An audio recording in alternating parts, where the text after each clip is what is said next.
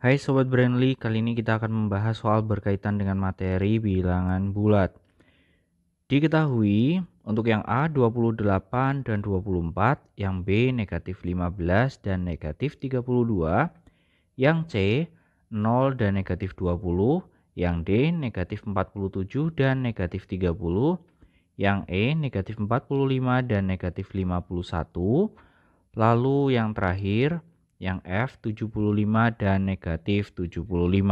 Yang ditanyakan, bandingkan dua bilangan tersebut lalu tentukan bilangan yang nilainya lebih besar. Nah, untuk menentukannya terlebih dahulu kita harus ingat bahwa untuk 0 nilainya lebih dari bilangan negatif. Nah, kemudian 0 sendiri nilainya kurang dari bilangan positif. Lalu bagaimana untuk membandingkan sesama negatif? Jika sesama negatif, maka bilangan yang mengikuti tanda negatif kok semakin besar, maka justru nilainya semakin kecil. Nah, jika kita membandingkan sesama positif, maka semakin besar angkanya, maka semakin besar juga nilainya. Nah, sekarang kita bandingkan mulai dari yang A. Perhatikan untuk yang A 28 dan 24. Maka kita dapat mengatakan bahwa 28 nilainya lebih besar dibandingkan 24.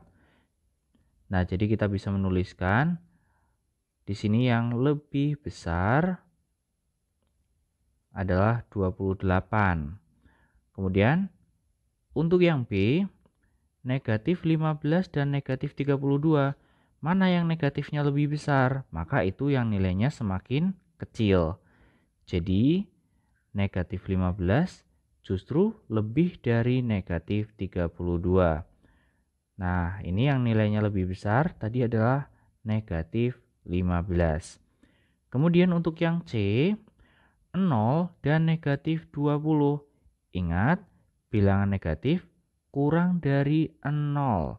Sehingga 0 lebih besar dibandingkan negatif 20. Jika kita tuliskan seperti ini ya, 0 lebih dari negatif 20. Yang nilainya lebih besar adalah 0. Kemudian untuk yang D, negatif 47 dan negatif 30. Semakin besar negatifnya maka nilainya semakin kecil.